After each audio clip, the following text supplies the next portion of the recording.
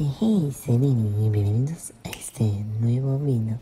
Hoy vamos a hablar de Daisy, Mika, que hace ver su cambiamiento desde la primera temporada a la segunda temporada. Hace ver su cambiamiento físico y que va a darlo todo siempre y siguiendo. Miren el cambiamiento. Wow. Antes y después.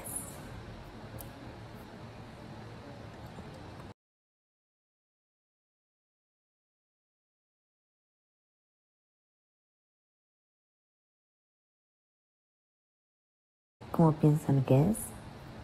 Está bien. Al próximo video. Chao.